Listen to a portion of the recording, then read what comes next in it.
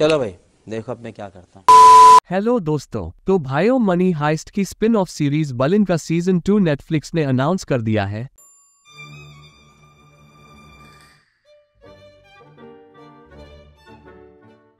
और नेटफ्लिक्स से ये उम्मीद पहले ही थी कि वो इसके सीज़न टू को भी लेके आएगा। लेकिन इतना ज़रूर है कि बलिन सीरीज़ में हमें वो मज़ा नहीं आया, जो कि हमें मनी हाइस्ट में आया करता था। मनी हाइस्ट में कहानी तो खत्म हो गई, लेकिन बलिन के कैरेक्टर को सबसे ज़्यादा पसंद किया गया। प्रोफेसर के बाद और ये इतना पॉपुलर कैरेक्टर बना कि नेटफ्लिक्स को इसके लिए अलग से शो अनाउंस करना पड़ा। लेकिन बलिन की ये स्टोरी जिस पॉइंट पर खत्म हुई है, वहाँ इसके सीक्वल में अब एक चोरी सिंगापुर में होने वाली है। लेकिन जिस तरह से बलिन की इस सीरीज़ को ट्रीटमेंट दिया गया है, वहाँ अब मुझे नहीं लगता कि भाई कोई भी इतना इंटरेस्टेड है इसके आगे की कहानी में। लेकिन हमें बलिन सीरीज़ क्यों पसंद नहीं आई जबकि मनी हाइस्ट और बलिन का क्रिएटर एक ही है जिसका नाम एलेक्स पीना है। अब जबकि टाइम इतना चेंज हो गया है और अब के टाइम में लोग अपने टीवी और मोबाइल स्क्रीन पर काफ़ी ज़्यादा टॉक्सिसिटी देखना पसंद करते हैं। और इसका एग्ज़ाम्पल हमने एनिमल मूवी में देखा है और यही टॉक्सिसिटी हमने बलिन के कैरेक्टर में भी देखी है मनी हाइस्ट सीरीज़ में। लेकिन वो चीज़ क्रिएटर ने बलिन की सीरीज़ में गायब कर दी और वो वाला बलिन हमें पूरी सीरीज़ में कहीं दिखाई नहीं दिया।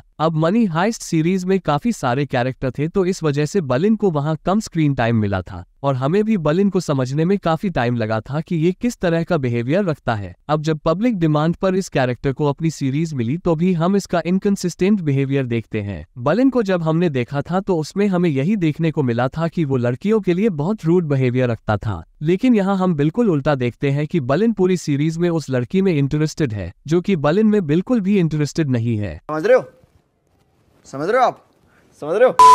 मतलब लड़की के पीछे पड़ना कोई बुरी बात नहीं है क्योंकि हमें पता था बलिन रंगीले टाइप का था। अब यहाँ बात यह है कि पहले तो मनी हाइस्ट में अकरू टाइप का बलिन को दिखाया था और इस सीरीज़ में हमें ये दिखा दिया कि लड़की के पीछे भागते रहो। अब जब हमें बलिन का ट्रेलर देखने को मिला था तो हमें लगा की इस सीरीज़ में हमें कोई तगड़ी हाइस्ट देखने को मिलेगी। अरे हाँ भाई हाँ। मतलब पूरे चौवालीस मिलियन डॉलर की चोरी होगी तो कुछ मज़ेदार ही निकल कर आएगा। बात तो सही है।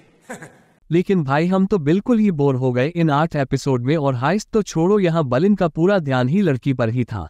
जनता माफ़ नहीं करेगी। उधर इसके उल्टा मनी हाइस्ट में हमें बलिन का लीडर वाला शानदार कैरेक्टर देखने को मिला था जिसमें वो अपने काम मतलब चोरी के लिए पूरा फोकस रखता है। साथ ही उसमें जो हाइस्ट प्लान की गई थी वो कितनी स्ट्रॉन्ग लेवल पर थी, जहाँ कहीं से भी कोई गलती की गुंजाइश नहीं रही थी। साथ ही इस सीरीज़ की सबसे बड़ी प्रॉब्लम थी इसके कैरेक्टर डेवलपमेंट अगर आप मनी हाइस्ट देखें तो इस सीरीज़ का हर छोटे से छोटे कैरेक्टर को भी तरीके से लिखा गया था। बलिन में कैरेक्टर और उनकी बैकस्टोरी को ठीक से डेवलप नहीं किया गया। जब हमें पता चला कि बलिन की सीरीज़ आ रही है तो हमें उससे बहुत ज़्यादा एक्सपेक्टेशन थी। यानी हमें इतनी हाई एक्सपेक्टेशन थी कि हमें बलिन के आगे प्रोफेसर जैसा कैरेक्टर भी फीका दिखने लगा था। लेकिन यहाँ तो बलिन का ध्यान चोरी पर था ही नहीं और पूरी सीरीज़ में वो लड़की को पटाने की तरकीबें करता रहता है। बलिन सीरीज़ देखने की एक छोटी सी उम्मीद ये भी थी कि शायद हमें प्रोफेसर का कैरेक्टर भी देखने को मिल जाए। प्रोफेसर तो छोड़ो, हमें बलिन भी अपनी फुल फॉर्म में नहीं दिखा। भले इस सीरीज़ में प्रोफेसर का एक या दो मिनट का कैमियो भी होता, लेकिन एटलीस्ट प्रोफेसर को लाना चाहिए था।